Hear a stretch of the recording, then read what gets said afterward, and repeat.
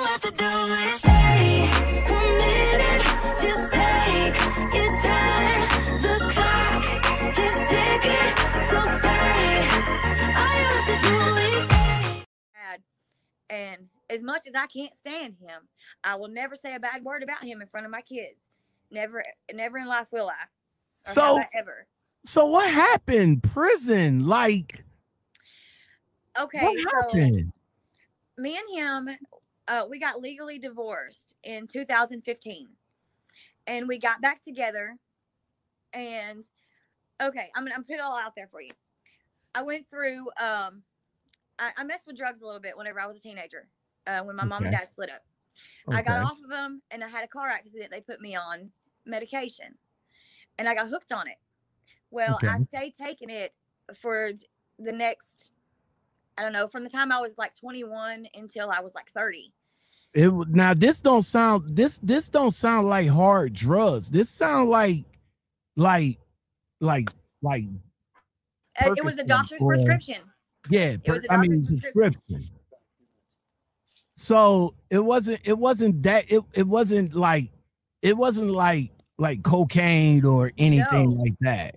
No, So you just Um, got you just got hooked on on regular drugs like Vicodin. Yep, exactly. It was it was hydrocodone that I had got hooked on. Ooh, From the doctor. hydrocodone. I, Um, man, And so, I mean, it of course we would have a few arguments here and there and stuff like that. I went through a rehabilitation program and I, I couldn't kick the habit. Well, um, so in 2015, we ended up getting divorced. Um, I had my my niece passed away. She was seven months old in in January 2015, and that just kind of threw me way under because that was like one of my kids. Um, Mhm. When my sister was being a little wild, I would keep her quite a bit, and that really done a lot to my whole family when my niece passed away. Mm. and um so the abuse just got worse between me and my ex-husband. Um he got to where he was hitting me and stuff like that. So we got divorced. Well in 2015 that's when that happened. We ended up getting back together but we were legally divorced we had an argument one night in june of 2016 and i left and it wasn't one of those i fucking hate you i'm never coming back it was we had an argument and i left i went and got a hotel room I went to Walmart, got shampoo and stuff like that. And um he ended up taking a warrant on me for using the the credit card and the, the, the bank cards. I was charged with identity theft, credit card fraud, forgery. Uh, they had like uh 10 different charges that were trying to press against me. They was even trying to charge me for taking my own cell phone. Wait, hold up. What? Wait, he tried to hem you up with some credit card fraud. Yes. And here's what's crazy. It stuck against me because we were legally divorced.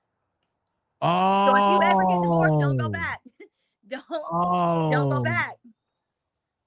Okay, now wait. Now, what's the what's the credit card in his name or both of y'all Yeah, name? no, it was on his name, and because we were legally divorced, that's how everything stuck against me. oh, okay, okay. That's prison. that's one that's one to grow on because like uh like situation that happened that that happened with me you know that's our our credit situation is kind of entangled right now but man i wow so you you you did a you you did a tina turner on his ass but instead you try to you know you use his credit cards to get you some I mean, but here's the, the only thing I bought. I bought a hotel room for a week and things that I just needed. I wasn't.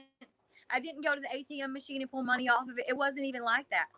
And Right. um, we had just been through so much, and plus his dad really pressed the issue against me. Um, because at that point it had already gotten so bad between me and him. Um, with him hitting me and stuff like that, my family had turned against him, and his family had turned against me. Like I was such a bad guy because I was on medication, but they didn't. They didn't want to look at the fact. Searching, searching, searching, searching, searching, and searching,